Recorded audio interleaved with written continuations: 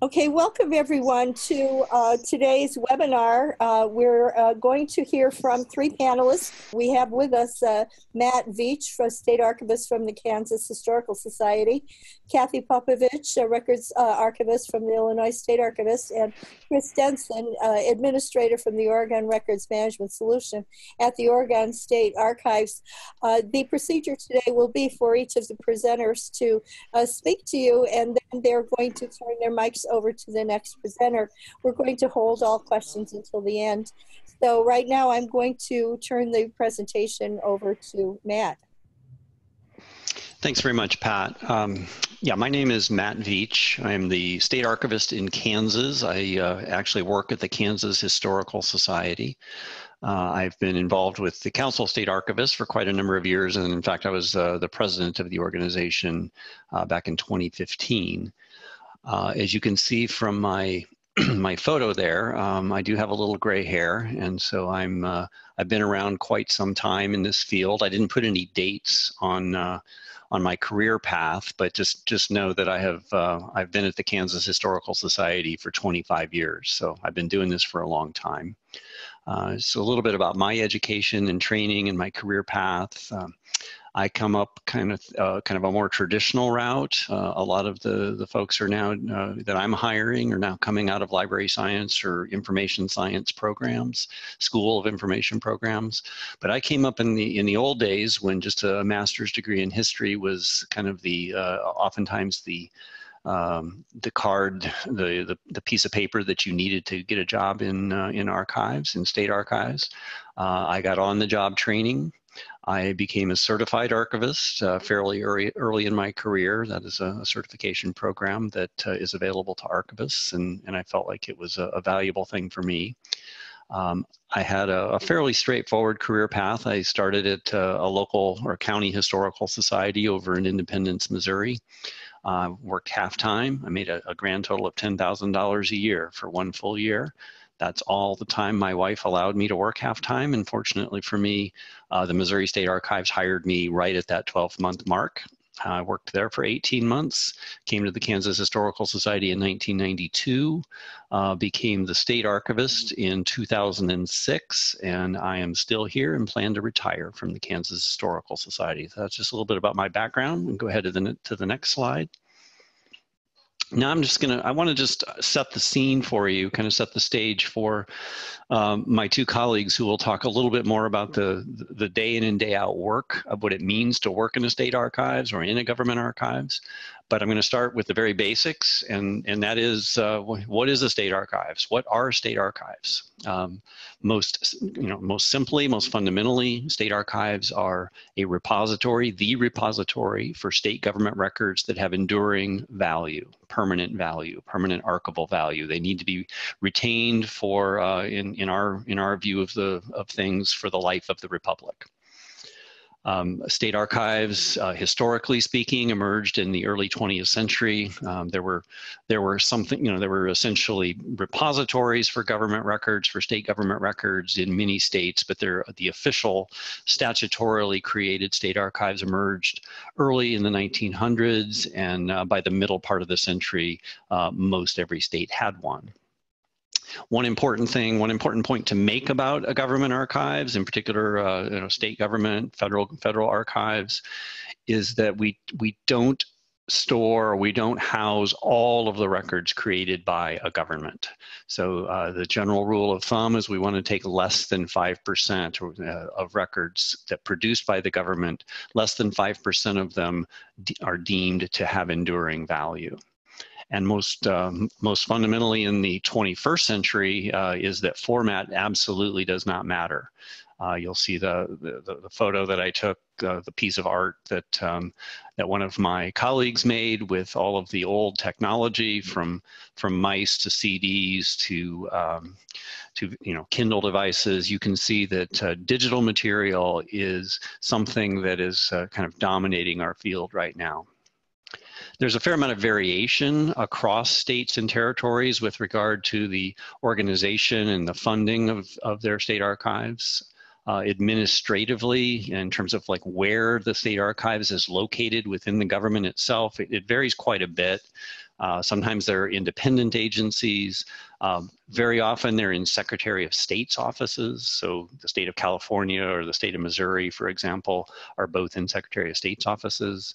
Uh, sometimes they're in a historical society, like, like in Kansas or Ohio or Minnesota. Uh, cultural resources or cultural affairs agencies are also uh, a, likely place to find the state archives. Uh, and sometimes they're combined with a state library like they are in Kentucky or Texas or Florida. So, so it does vary quite a bit across the states. Um, and there's also a fair amount of, of, variation in terms of funding and staffing across states and territories. And so you'll find um, you'll find state archives like in Kansas, uh, you know, relatively low population state like Kansas or Nebraska, or the Dakotas. Uh, we get by with a very small number of staff uh, in, a, a relatively small budget. Uh, you go to some of the larger states, uh, you know, the North Carolinas and the New Yorks and uh, the Californias of the world, and sometimes their their staffs are quite a bit larger. Generally, it's it, the staff staffing will will range from as I suppose as small as one, say a territory. I, I used to work with or talk to quite a bit the uh, the, the, archivist for the Northern Mariana Islands. Uh, that's a that's a territory for those of you who didn't know, um, and he he was a one person shop. Uh, but you know, it varies from from one to a few dozen people. Very few state archives are, are really, really large organizations. There's also variation in the sense that um, in, in some state archives, uh, they have responsibility for records management, um, meaning that, that they work with state and local government agencies to help them, help them you know, with the active management of records in their offices. And we've generally found that if uh, records management programs and state archives programs are combined, you often get the best results. Uh, it's it's kind of a they're kind of a, a symbiotic relationship between those two things, uh, with records management kind of helping us identify those records that ultimately need to come to the archives, and you identify it very early in the records life cycle. Um, but it doesn't doesn't have to be that way, and there are some states uh, that don't have records management as part of the state archives, and yet they still operate very very fine programs. Uh, there's also variation in terms of uh, responsibility for local government records. Um, many states have um, have responsibility for or are at least very active in providing uh, records management and, and archives consulting services or, or providing advice and assistance to county governments or municipal governments or you know, school districts or water districts, you know, any kind of local local government entity. And there are some states, uh, you know, 20 or so states that actively collect and, and store local government records with enduring value. And again, that just kind of kind of varies across the states, kind of depends on uh, what their uh, how they got founded and what their funding is like and what their staffing is like. And go to the next slide, please. So why would someone want to work in a state archives? And that's that's kind of the one of the main uh, thrusts of this presentation is to try and and explain um, why it's a re it really is a, a meaningful and uh, uh, it's a diverse and meaningful place to work. I um, I think sometimes uh, we sell ourselves short and we we tend to not have quite the oh the level of panache that say a you know a, a university setting would have uh, special collections in, in a university. Often people like that academic environment and i certainly understand that and appreciate what uh, what those kinds of, of programs bring but I, am very partial to uh, to state archives, to government archives, and I really feel like some of the most important uh, archival work uh, in the in the country is is taking place right in the state archives, and I think you'll you would find if you would if you would join a program uh, like the one that I have here in Kansas, or the one in Illinois, or the one in Oregon, or anywhere in the country, that you would have a really diverse and meaningful experience. You get to do a lot of different things, um, and you'll see that list there. I mean, it, and that can go on and on. I mean, you get to do all parts. You get to engage in all parts of the archival enterprise. Um, appraisal, uh, I always like to talk about when I'm talking to people about uh, what it's like and what it means to, to work in a state archives by talking about appraisal and emphasizing the, you know, kind of the, the, the my view that that's kind of the most important thing that government archivists do, uh, government archivists and records managers.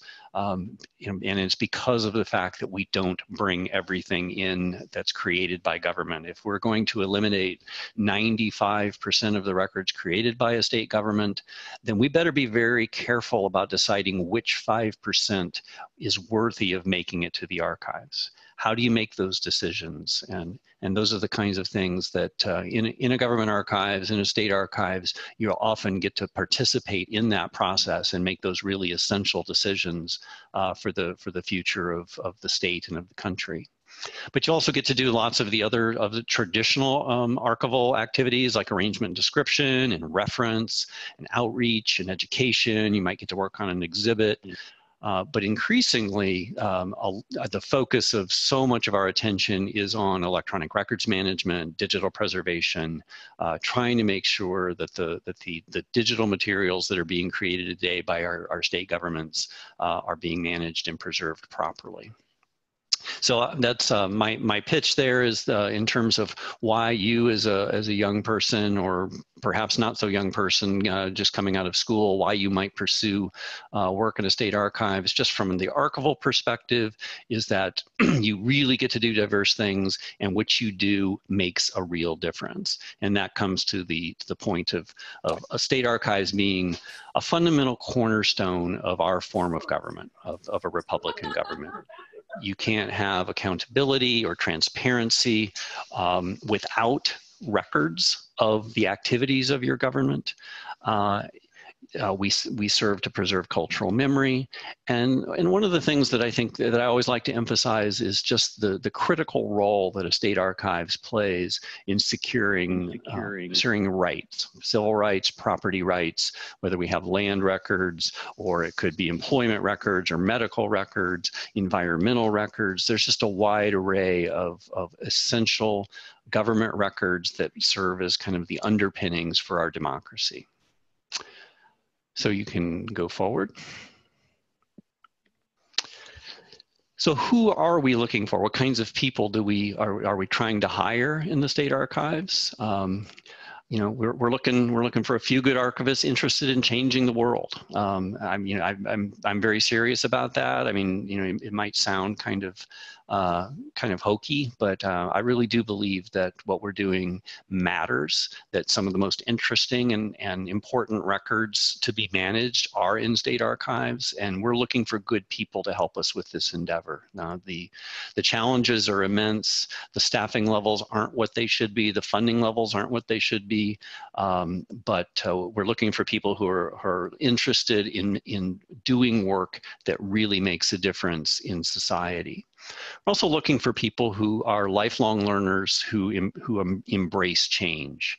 Uh, this is not the kind of profession, uh, I, don't, I don't care where you are really, uh, in, in anywhere in archives, but particularly in state archives. Uh, you have to stay fresh, you have to, to stay current, uh, you, you need to be devoted and, and, uh, and committed to professional development. Without it, the world will pass you by very, very quickly. Um, you know, just as and as, as an example, I mean, you saw that I had a I have a master's degree in history. Um, that's what I, I, figured. If I went into archives, I'd get to uh, I'd get to work with some of the archival materials that I became so familiar with in doing my master's work, uh, and all of that was either paper-based or microfilm. And yet, I've spent most of the last 25 years thinking about uh, managing electronic records or and, and um, preserving those digital records over time. That's not the kind of thing that I, I really thought I was going to get involved in, but uh, because I was very willing to to learn the new skills and and and keep abreast of the new developments. Uh, I was able to keep up, and it's uh, it's really exciting to be part of this. We're also looking, as I've, I've, I've, emphasized electronic record or digital records an awful lot. Um, I look for, uh, for, for people who are, are either digital natives, um, you know, particularly the younger people we're hiring today, but, uh, but others who are at least very comfortable with technology. Uh, I don't think a, a, state archives career is really a good place for someone who is, uh, is not very comfortable uh, with uh, information technology. And then finally, uh, we're looking for, for people who are dynamic, outward facing people people. Um, I really try to um, you know, get, dissuade people of the idea that, um, that archivists spend all of their time in the stacks in quiet rooms, just sorting papers. That you do have your quiet moments, but so much of what state archives are about right now are looking outside of our walls, uh, providing training, providing consulting services, providing education to K through 12. There's so many opportunities and so much need for us to be outward looking, to be um, outgoing people uh, and interested in interacting with others. Without that, we just cannot achieve, uh, achieve our goals. All right, so the final slide. Um, I just wanted, I just have, uh, I asked one of my, well, I asked several of my staff members to, uh, to kind of tell me why they thought it would be worthwhile, why they think it's worthwhile to work in the state archives. This is my, uh, one of my most recent hires, um, my electronic records archivist, Megan Roletter. She gave me permission to use that photo. She's looking inside a box very cautiously, uh, transfer of records from, uh, from our governor's office. We're in the process of, of working through identifying all of those records and making some sense out of them. But you can see her statement here that uh, you get to handle some of the coolest materials uh, that are invaluable to your state and its legacy. And in the time that she's been here, she's seen, seen the state's constitution, a large collection of territorial Kansas records, records from the office of our state governor, countless photographs, maps, and drawings. She's held letters by Abraham Lincoln and Aaron Burr and seen diaries written by Carrie Nation and Samuel Reader. And this is my favorite part. She says, yes, you will even get, you will get goosebumps. Yes, you may even get a little misty, but it makes it all worth it. So that's my Megan. I uh, really I, I, love her passion, and uh, and I think uh, if you if you chose to join the state archives, you would you would feel similarly. So thank you very much. Thank you very much. And now we have our second panelist for today, Cathy. I'll uh, give the mic to you. My name is Cathy Popovitch, uh, and I work at the Illinois State Archives. Um, to start off my section of this talk, um, I want to give a, a, little bit of background about me first um, and my motivations for entering the archival field uh, and how I ended up working in a government archives. Um, and then I'll take you through what I do here, and uh, hopefully you'll find something in this talk that appeals to you, um, and maybe you'll consider a career in state archives. Uh, so I have a bachelor's degree in history. Um, I originally was an education major. Um, I went through all of the internship hours and I got into, I think I was about two weeks into uh, the student teaching and a light bulb went off and I realized that uh, teaching just wasn't, wasn't for me. I wasn't cut out for it. Um, so much to my parents' dismay, uh, I, I dropped the education component of my degree. Um, and really, I had no idea what I was going to do moving forward, um, which was a little bit terrifying, to be honest. Um, but I knew I was still interested in finding a career uh, in which I could facilitate learning um, and provide educational opportunities for others. Um, I really loved the one on one interactions with my students, um, connecting with them, and finding ways to teach to them um, and to um, uh, connect them with their interests. So moving forward, I knew that would be a, a key aspect of any career that I would consider. Um, another thing I was looking for was variety. Uh, after college, for a little while, I uh, scored standardized uh, writing tests. So for about four, for 40 hours a week, uh, I sat at a computer, read a sentence or two, and punched in a score. And um, quickly learned that uh, that wasn't for me. Um, I, it, you know, don't get me wrong, I sometimes appreciate hiding behind a computer all day, um, but I knew that I needed to go into a field that got me interacting with people, um, and I guess just working different parts of my brain. Um, and finally, I, I wanted a job where I would constantly be growing, learning new things and new skills.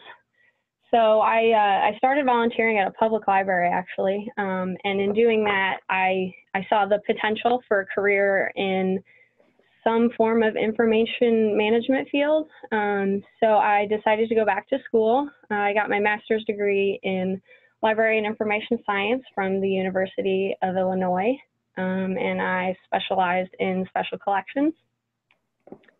After uh, getting my master's, I worked for um, an engineering firm here in Springfield Uh, I was uh, the solo librarian for the firm and all of its branch offices. Um, and towards the end of my time there, I also helped them start, excuse me, um, start building their records management policies and procedures and kind of improving on those. Um, so going into that job, um, I wasn't really sure that was the right job for me. Uh, so I guess this would be my first tip of the day. Don't be afraid to take a job that you're unsure about or um, that you think isn't 100% of what you're looking for.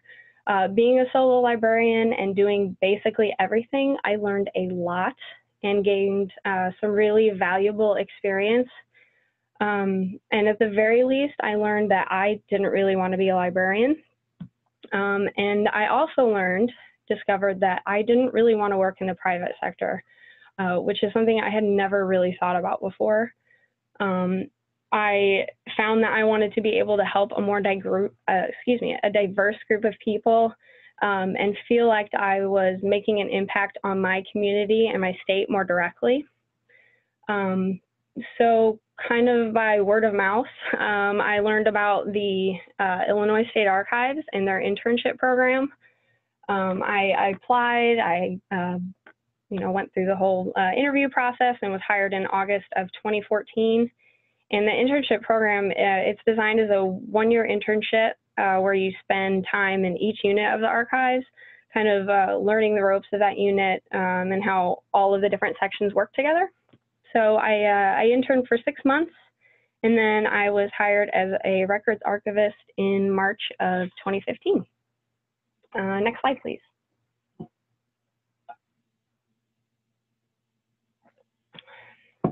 Um, Matt talked a lot about um, the variations across the state and territorial archives. So here's just a little overview um, about um, the archives in Illinois. We are a department under the Secretary of State. Um, we were established initially as a division of the Illinois State Library. And then in 1957, um, Illinois passed the State Records Act. Uh, we became our own department uh, underneath the Secretary of State. Um, we hold government records for all three branches of state government, and we only collect government records. Um, in Illinois, the uh, Lincoln Presidential Library, um, that's our state's historical library, and they accept family papers, diaries, manuscripts, um, but we only take official state government records. Um, within the archives, we have seven different units. Um, administrative unit is our director, our personnel liaison, our fiscal officer, um, the operations and reference uh, unit, they accession records into the archives and provide reference services. We also have a unit called the IRAD, which is the Illinois Regional Archives Depository. Um, and they, um, at seven regional universities throughout the state, um, staff at the university and graduate student interns run a regional archive, which consists of local government records. Um, I'll talk about the publications unit a little bit later because that's where I work. We also have a conservation lab we have a records management unit that works with state and local agencies um, to set retention schedules. We also have a micrographics unit that microfilms and scans documents, photos um, for the archives and for other state agencies. Um, and so I'm showing, showing you this to also demonstrate that there are a lot of different opportunities within state archives. Uh, so the chances are pretty high that your particular skill set and your interests can be put to good use in the state archives. Uh, next slide, please. um, I currently work in the publications and finding aids unit. Um, it meets a lot of my criteria that I mentioned earlier um, in that I'm able to do a lot of different things, meet and work with a lot of different people. Uh, it provides opportunities for me to help people find what they're looking for or to learn something new. Um, and I'm constantly learning new things about our state, about um, the archival field, and developing new skills. Uh, we put out a newsletter three times a year. Uh, we usually highlight a document or collection, which requires me to do some research. Um, some of our most recent articles we've done have been on uh, the excavation of the Cahokia Mounds in southern Illinois. Um, let's see, the history of our penitentiary system, the expansion of um, highways in the 1920s. So again, constantly learning about things that I, you know, never really would have thought to learn about. um, we create and distribute document teaching packets on different subjects related to Illinois history. Uh, we have different flyers and brochures um, about the archives and doing research with our collections. But probably the most important work that our unit does is the processing, um, the arrangement and description. Um, the operation section accessions the materials, but um, before they can be used or um, made available to the public, we have to do the arrangement and description um, to provide that intellectual access. So here's here's one very important way that the work we do um, really helps to advance government transparency um, and to aid our users, uh, again, by providing that access point with our descriptions. Um, I would say this is the part of the job that is a little bit more secluded. Um, so if that kind of work appeals to you, um, there are definitely opportunities for positions that don't have quite as much public interaction. Um, but as Matt mentioned earlier, um, it's very rare that you will have no interaction with others.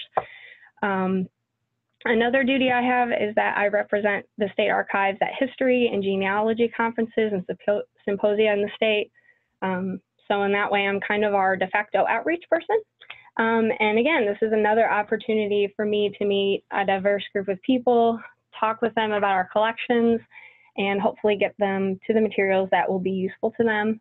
Um, I am not really much of a talker, but I love hearing people's stories and going to these conferences provides a great opportunity for that. Um, people love sharing their stories, their family histories, um, or the research that they're doing, and it's it's really invigorating uh, to be around groups of people that are so passionate about their work and their interests.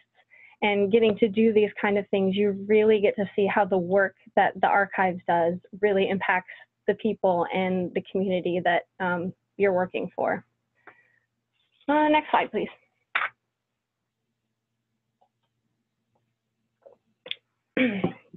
so um, around here, we kind of joke about the ominous other duties as assigned responsibility in all of our official job descriptions. And uh, this is the area that really brings a lot of variety to the work that I do. Um, I serve as the deputy coordinator for the Illinois State Historical Records Advisory Board, or the ISHRAB. Um, this is a statewide board um, which serves as a review review excuse me review body for uh, records grant proposals submitted to the NHPRC, um, which is the grant making agency affili affiliated with the National Archives. Um, the ISHRAB runs its own grant program for smaller projects in the state and provides a lot of opportunities for archival professional development. Um, and in working with this board, um, again, I get to work with archivists in a lot of different types of institutions. So um, board members themselves, um, we have members from university archives, um, business archives, genealogists, um, we have professors, um, and then also in kind of running the grant and scholarship programs, I get to connect with other archivists throughout the state and um, even people who are performing archival work but who aren't archivists. Um, so it's a great opportunity to really see what's going on throughout our state. Um, I do a lot with grant management, um, whether that be writing grant proposals for projects at the archives um, or helping with the administrative side of grants that we've uh, received. Um, so if you're looking for another skill to gain, grant writing is um, a really good skill to have. Um, I serve as our department's liaison to the Secretary of State's Communications Department. So um, anytime somebody needs business cards printed, um, forms updated or printed, that goes through me. And then I also give the occasional group group or class tour uh, of our building. If you're ever in Springfield, come visit us because it's a very beautiful building. Lots of history there. Um, and that pretty much sums up what I do. Um, I feel very lucky to be where I am. Um, it's it's definitely not all sunshine and rainbows. I mean, we we do, after all, work for the government, so um, that sometimes means that we have to jump through a lot of hoops to get certain things accomplished. Um, really similar to probably any other archival institution, we're constantly having to advocate for ourselves and uh, educate others on the importance of the work that we do. Um, we have to deal with the growing idea or expectation rather that everything should be digital and um, available um, on the internet. Um, paper cuts are a daily threat, uh, but it really is very meaningful and important work. Um, Matt talked about some of this earlier, but uh, state archives are looking for people who are adaptable to change, who are flexible, willing to learn, um, you know, forward thinking and creative. Um, so if this sounds like you and you're passionate about uh, government transparency um, and connecting people with their government and their history, um, I encourage you to consider a career in state or, or other government archives. Um, and that's all I have today. Thank you. Thank you very much. That was very interesting. And now I'm going to turn the mic over to our uh, third speaker for today, Chris. So uh, my name is Chris Stenson. Uh, I am the administrator for the Oregon Records Management Solution for the Oregon State Archives, and I will explain what that is in just a second. Um, I'm, I'm, uh, you'll probably hear some of the same concepts you've heard uh, from Matt and Cathy uh, in my section here. Um, and that's not because we all uh, shared notes and said we were going to hammer the same tact, same aspects. It's just that certain themes will tend to come up, you know, at the same time. Um, so I'm kind of call my little section, I'm going to get a little subtitle for it. I, I, have a tendency to like cutesy little titles for things. So I'm calling my talk here, All Roads Lead from Rome. Um, of course, that's the opposite of the traditional phrase. Uh, or how to be an ARM professional in a world that won't stop changing. So I'm going to use the term as a catch-all. So archives and records management professionals. Um, you, just by virtue of being uh, in working on your uh, MLISs or other uh, variations of those degrees at the time you are right now, I'm sure you're aware of the rapidly changing terminology that is utilized surrounding the worlds of uh, archives and records management, um, information management, information governance, all those different concepts that are interlinked and interconnected. And if you put 12 people in a room, they will all disagree as to what they all exactly mean. Um, I am notorious for running afoul of precise language on this because I tend to prefer uh, looser colloquial terms that actually mean something to people. So in this case, I've chosen to use ARM as a, as a shorthand for all of the various aspects of work that surround basically dealing with uh, managing and preserving records um, for short-term, long-term, and everything in between. Um, so, and I've got uh, some little images there. So we've got a succession of formats uh, that we see here. Um, this is something I often use with out, external outreach. So we've got a cuneiform tablet. So um, and this also serves as a uh, sort of demonstration of the longevity and the shrinking longevity of the sort of records we work with and the challenges we face. So cuneiform tablets, um, some of them 6,000 years old or so, uh, we can still read them. They're still around. Uh, papyrus, similarly, uh, had been around for millennia. Uh, paper, for not all that much less, uh, still static. Then we get up to digital formats like a Word document, which has been around. Well, a Word document hasn't necessarily, but but word processing documents have existed for a couple decades, two, three decades at most. Um, and then we're already sort of moving into a world now where um, ever, ever more uh, folks are working in much more dynamic platforms. They're not uh, dealing with static forms anymore. We're dealing with uh, complex software systems that contain information in lots of different ways, and the records may or may not exist as discrete forms anymore. And these are the sort of challenges that uh, that we're all we're all looking at. Um, uh, next slide, please.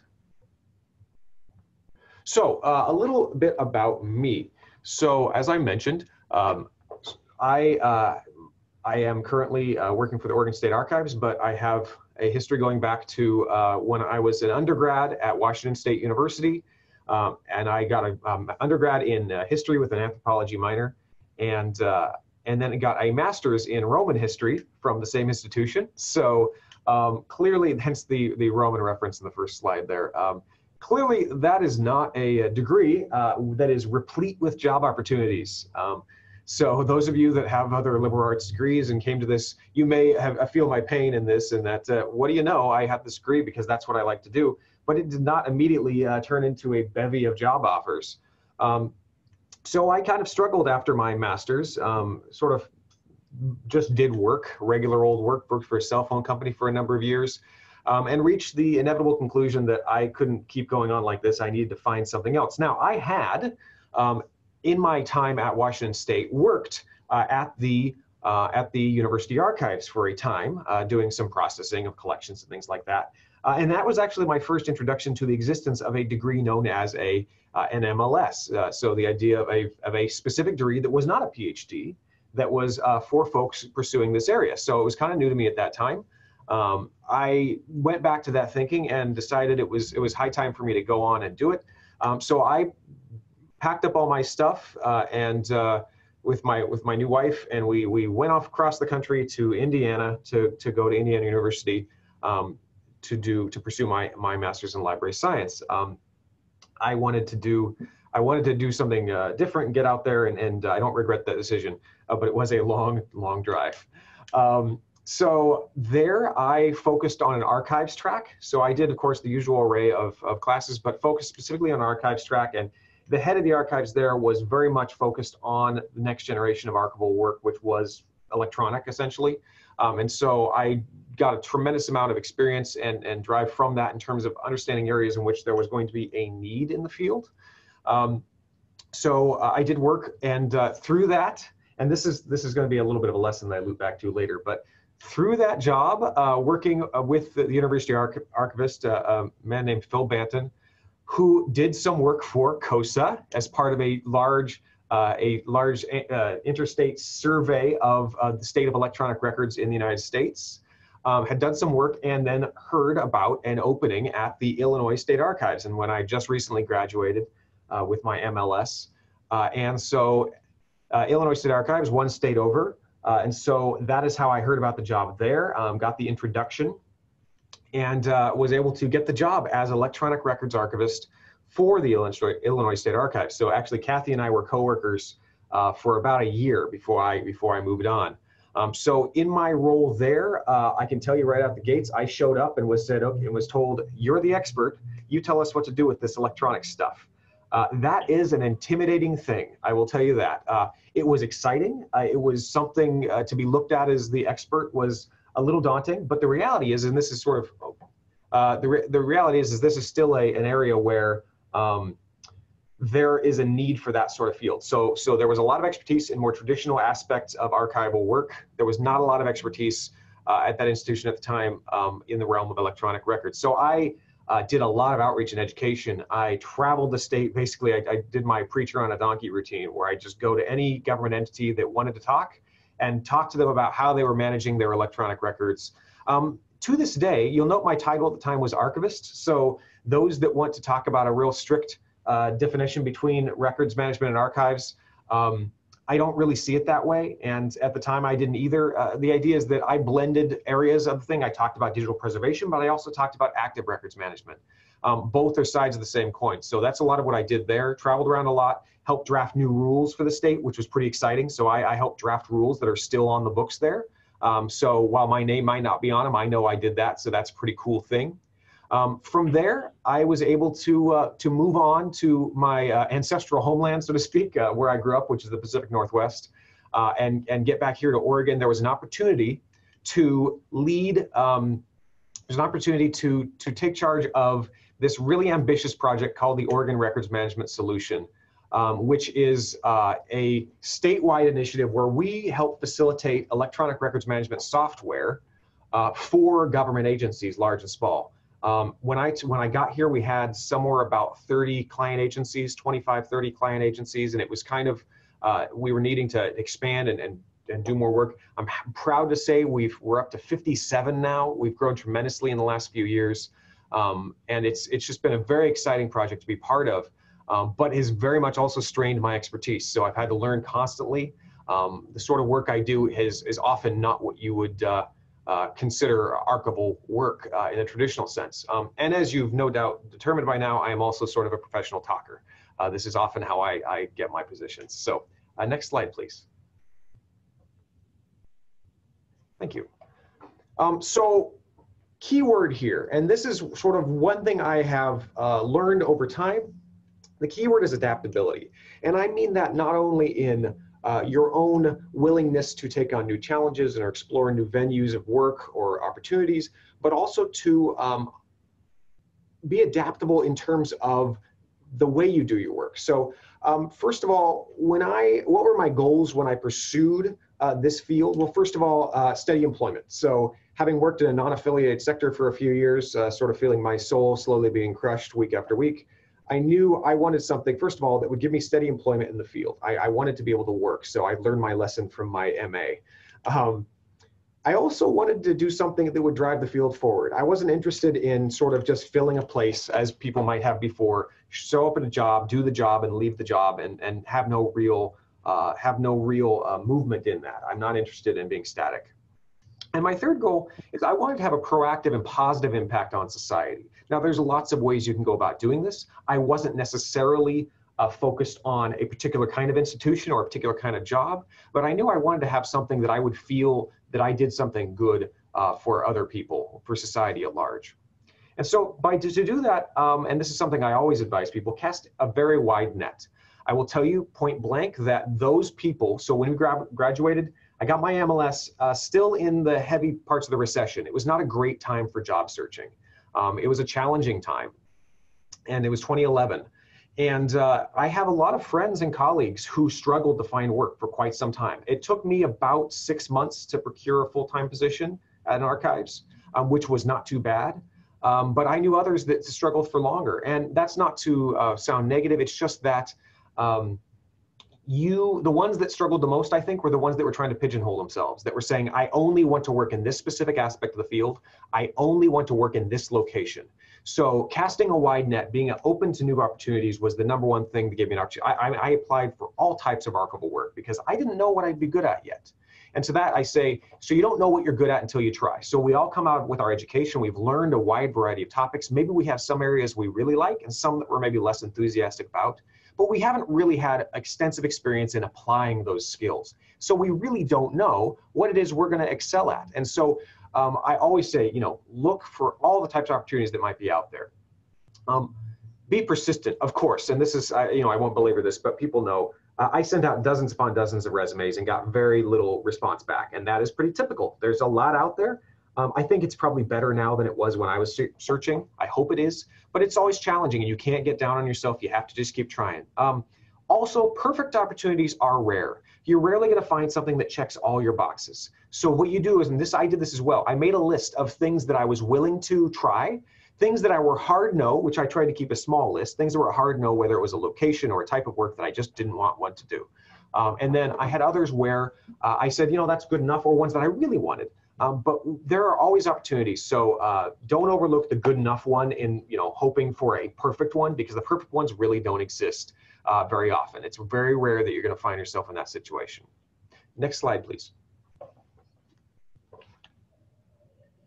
Okay, so it's good to be needed, right? So a lot of this is, I mean, there was a lot of discussion. I know when I was graduating um, a few years back about the the or when I was in school was the graying of the field, and that's not a pejorative term. It's simply saying that you know there was a large generation of archivists and records managers that were nearing the end of their careers. There were going to be a lot of retirements imminent.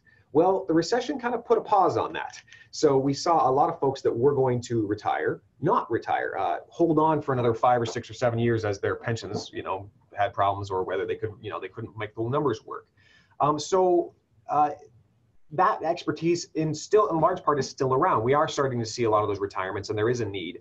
Um, but there are still a lot of those folks around. But what are they best at is often the more traditional aspects of the field. These are folks that are, they may be very gifted at manage, managing manuscript collections, at doing traditional appraisal work, um, at creating uh, handcrafted filing aid, finding aids with great amounts of detail. The sort of work um, that quite frankly is not the future of it. Um, they and they need people. Uh, they need people that can help drive that next generation of skills into their institutions. Um, state archives, in particular, bear a huge responsibility for ensuring uh, government transparency and access to information. So uh, it's very important. They need people with these next generation skills because they are, uh, as Matt and Cathy alluded to, being, you know, we're getting the stuff. The stuff is coming to us um, all manner of, of records from different types of agencies in whatever formats they may have been created in, these days overwhelmingly digital. And archives don't always have the tools in place and the expertise in place to handle that. So there is a great need uh, for folks to step in and take that role. Uh, and they really need skills that are not necessarily part of the traditional ARM toolkit. Now, I know, um, I've talked to Pat, and I know the program at SJU has done a great job in really driving uh, innovation in these next generation skills. So uh, that is important. Uh, and so, as the others have said, um, these next generation skills that are not traditionally considered part of it are critical. So, um, it's a big opportunity for folks coming into the field right now of making a difference, of setting themselves apart. And I can tell you right now, having been part of both being hired uh, and, and also being on part of the process where we, uh, we are looking to hire other people uh, here at the archives. We brought on a few people in my time here that I've had a role in doing. Um, and we are looking for people with these skills that will match, uh, more so than experience in some cases. We're looking for folks in particular uh, that have people skills. Now, that's something that was not traditionally be considered. Um, also, training and teaching experience. So, any sort of outreach, the ability to talk to other people is an important thing. Um, and I understand not everybody's a natural extrovert such as me, and I, that's I know that. Um, but it still is important. You cannot hide in a room and have that be a viable profession anymore. It's just not a way because um, you, in many cases, will have to defend your field. You will have to uh, advocate for yourself and for your institution, regardless of where you're at. And if you can't, uh, if you can't um, express uh, what you need in a, in a way that other people can understand, uh, you will find yourself short. Um, comfort with technology, of course, that's the, the, you know, technical skills are critical. And I think we're aware of that at that point. Um, and also a willingness to learn and adapt, because if we're stuck on one thing, uh, again, we're not gonna be able to keep up with pace. Uh, next slide, please. So, and to this, this is something I like to say in a lot of my presentations, in that the work is not the profession. So we are all members of, or should shortly be members of, this greater profession that we call archives and records management, or information management, or whatever we want to call it these days. Um, the goal of this profession is to ensure the preservation and access of records for the appropriate period of time. So that doesn't mean that everything is permanent. As Matt said, that's like 5% of records are permanent or less. Um, but it also means that we help facilitate access to and preservation of records for their whatever li their lifespan may be, because there are a whole bunch of records that live in the gray zone between 10 and 90 years, you know, in that kind of whole big wild west. And those of us that work more on the records management side of it uh, have a major role to play in that to make sure those records are, are preserved for the appropriate period of time. So when I say the work is not the profession, I mean the work is just the tasks we perform to accomplish that goal. The goal is what we're aiming at. There is a tendency, especially when folks have done a job for a long time, to mistake the tasks they perform for the goal in itself. So they have procedures they follow because that's the way things are done. And they don't always stop to question themselves and say, you know what, I think we're actually missing the great bigger picture here. So we always want to be asking, is this task actually serving our goals anymore? Or is this something we can move on? Uh, and this is not to say we're just going to burn everything down and start over. Expertise built over years, and, and the folks that work there have been doing this for decades, have a lot of valuable knowledge that we need. I rely on that. I often say I don't know a lot about the, the stuff. What I do know is what we need to do to help bring the stuff forward. And so we, I need the people that, that understand the collections, that understand the, the things we're working with, um, just as much as they need me to help express that externally. Um, so for us to be able to outreach. Um, but are the tasks actually serving our goals? I do not ever want to be in a situation where we're saying that's just the way it's always been done. So that's critical. Um, don't hew to orthodoxy if it doesn't work. So I know some folks, and I remember this from school as well. Some folks are big on this is the the way things are done. These things are this is the way it's written in the text. This is how it's supposed to be done. Um, and and that's great when you have the luxury of time and all the resources you need to do things perfectly. Um, but what I love about government work to some extent is the fact that the very the very downside that we don't always have the resources we need that we don't have infinite resources and time means we have to be creative. We have to do fast and dirty sometimes. We have to do good enough work. It's MPLP at a massive scale. Um, and it's kind of exciting that way because we have an opportunity to make things work even when we're not just handed everything. Um, so that is that's that's for me that's an exciting thing. Maybe not everybody finds that exciting but i find it uh, rewarding. Um, we do need to learn to speak the languages of the, of the communities we work with and respect their experience. So by this, I mean I'm frequently having to do outreach, for lack of a better term, and training for all manner of people at different government agencies that come from very different backgrounds. We have people that, that know nothing about records. We have IT people and administrators and HR folks, folks that do work that I don't even understand in the slightest.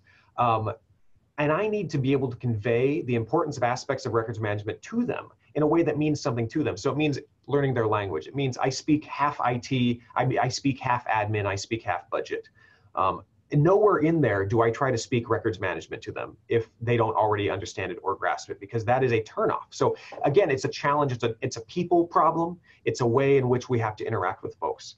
Um, so uh, that's why I do a lot of things that are not considered archival or records management work. A, very little of what I spend my day doing would be considered that. And yet, the greater goal is ensuring that these records are preserved properly and get the treatment they need.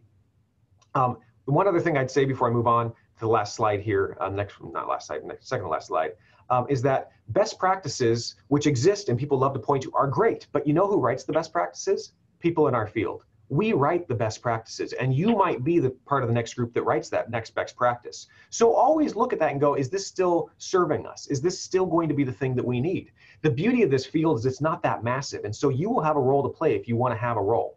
Um, they're, they are always looking for whether you're at COSA or NAGARA, which is another government uh, records and archivist association I work with, uh, or any of the other asso uh, associations related to different aspects of the field, SA, of course um, you have an opportunity to have a voice and uh, really engage in that. And government, particularly, it's a very tight knit community.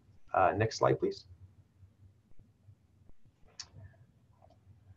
Okay, and so uh, the beauty of the immaterial is what I call this. So I get asked sometimes, don't I miss the stuff? Because I work, I barely work with the stuff. I don't touch records very much. Uh, but what I do is I joke, I work with the stuff of the future. So uh, I am setting the table for the next generation of researchers. And so while I might not, I people, current genealogists may not see the work I do, for example, having a lot of value. And folks, when I say I work for an archives, they immediately go, oh, you know, because they immediately go back to stuff they've seen on TV or whatever.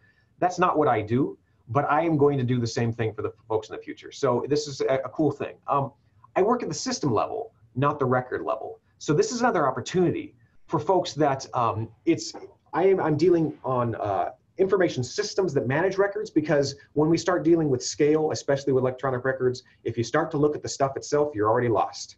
But impacts are magnified, so you make one change and it can affect millions of records. So if you don't want to get stuck doing the same thing for years, good news, everyone. This is a good opportunity. There are it's constantly changing. We're constantly having to adapt. Um, and you get a chance to solve real problems that impact people every single day. And what's so uh, uh, What's so exciting about this is that I talk to people that previously barely knew we existed, that certainly didn't give our field respect, and I turn them into advocates for us. Next slide, please. Final slide, I promise. Okay, so uh, last little summation, state archives, uh, opportunities to diversify your skills abound. So they're always looking for somebody to try something new um, hey, do you know how to do this? Because we, we never have a specialist for everything. So you get to learn. So I've learned IT, I've learned legal aspects, I've learned how to deal with mobile devices, I've learned social media uh, capture and transparency. I've learned how to handle uh, you know, server infrastructure to some extent. Now, it doesn't mean I'm an expert on any of these things, and please don't leave me in charge of all of them. Uh, but you get to dabble in a lot of things. You have a significant impact on society, even if they don't think you do. Um, I personally have a hand in helping agencies provide proactive public access to records through web portals, which is cool. They can access their own records. They never were able to do that before. Um, you get to unleash your creative problem solving, you know, so you, you have 90% of what you need to put it together. You have to come up with that remaining 10% uh, and out of, out of whole cloth.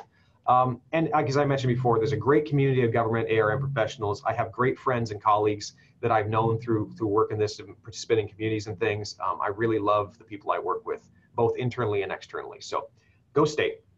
That's, that's all I got. Thank you very much. Those were three uh, fantastic presentations, and uh, what a wonderful opportunity for uh, students considering uh, what they're going to do after they graduate to learn more about different positions within the state archives. Um, I'd like now to open uh, the session to questions. If anyone in the audience has a question, uh, unmute your mic and uh, go ahead and feel free to ask.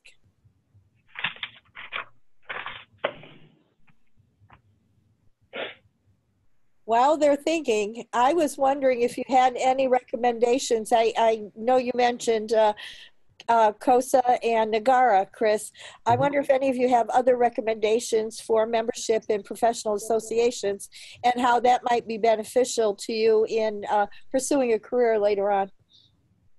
There's lots of uh, different organizations that kind of overlap. So you'll find some of them you just kind of find when you're in a in a field the areas that you need to learn. So I have found a tremendous benefit from learning from I'm not a member of, but learning from uh, AIM, A I I M. Uh, what's that? Association of uh, Image and Information and Im- image Thank you. managers. Thank you. They put out some great resources. They have classes available uh, that have really, I took some information governance classes from them that were great.